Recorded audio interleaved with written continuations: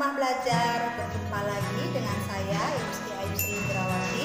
Kali ini kita akan membahas tentang penggunaan prinsip turunan ke fungsi trigonometri sederhana.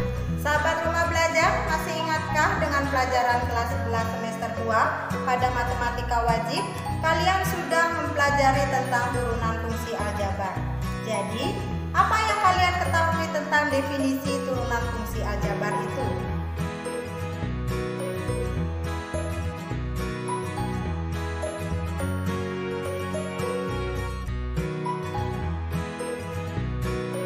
Benar sekali sahabat rumah belajar, turunan dari suatu fungsi fx ditulis dengan f aksen x didefinisikan sebagai berikut.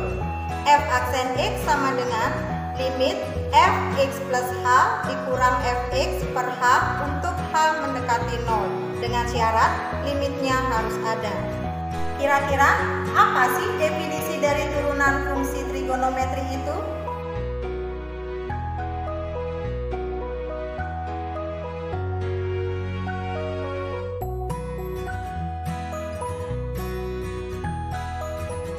Sahabat rumah belajar, karena trigonometri merupakan suatu fungsi, maka definisi turunan fungsi trigonometri juga sama dengan definisi turunan fungsi aljabar, yaitu turunan dari suatu fx ditulis f aksen x didefinisikan sebagai limit fx plus h dikurang fx per h untuk h mendekati 0 dengan syarat limitnya juga harus ada.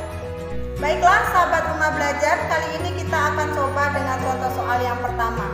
Dengan menggunakan definisi turunan, tentukan turunan dari fungsi fx sama dengan sin x.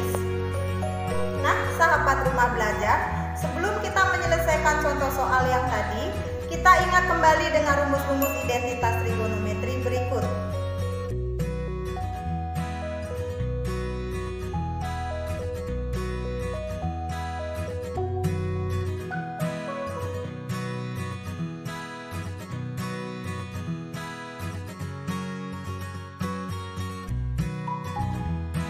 Sahabat rumah belajar, untuk menyelesaikan soal tersebut, silakan disimak penyelesaian berikut. Jika fx sama dengan sin x, maka f aksen x sama dengan limit sin x plus h dikurang sin x per h untuk h mendekati 0. Ingat kembali dengan rumus identitas trigonometri. Sin a dikurang sin b sama dengan 2 cos setengah a plus b dikali sin setengah a min b. Jadi, sin X plus H dikurang sin X sama dengan 2 cos dalam kurung X plus setengah H kali sin setengah H.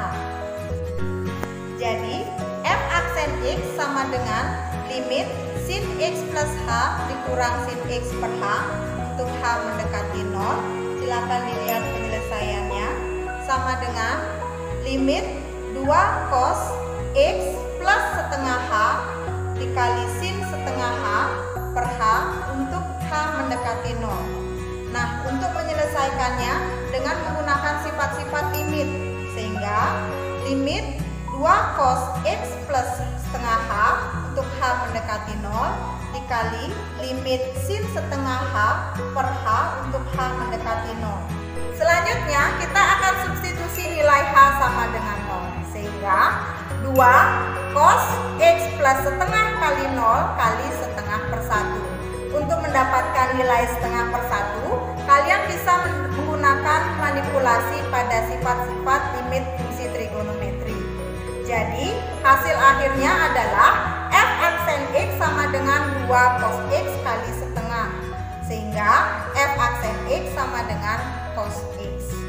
Nah, sahabat rumah belajar, semoga dengan penjelasan tadi kalian bisa paham tentang penggunaan prinsip turunan ke fungsi trigonometri sederhana. Sampai jumpa lagi pada video pembelajaran selanjutnya. Terima kasih.